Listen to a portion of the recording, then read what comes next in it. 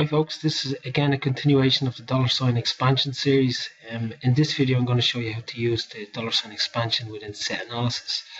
So what we'll do is we've got a text object here, it's not populated with any um, uh, expression.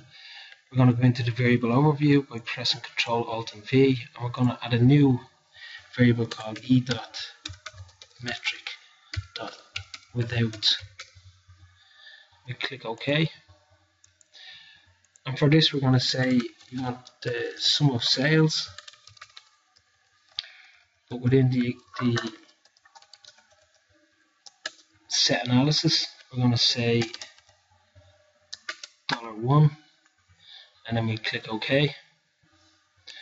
So now in our text object we can say equals e dot metric dot without and we can say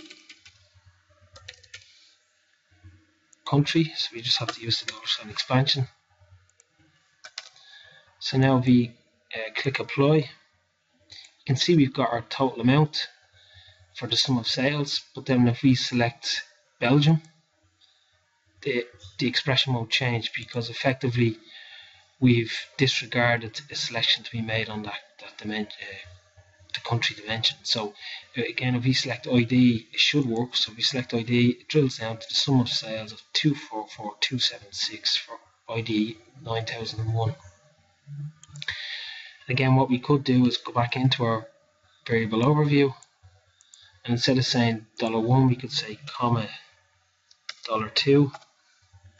Click OK, and now we go into our text object and just put a comma ID, click OK. Now we select ID 9001. It doesn't change the sum of sales because we've disregarded um,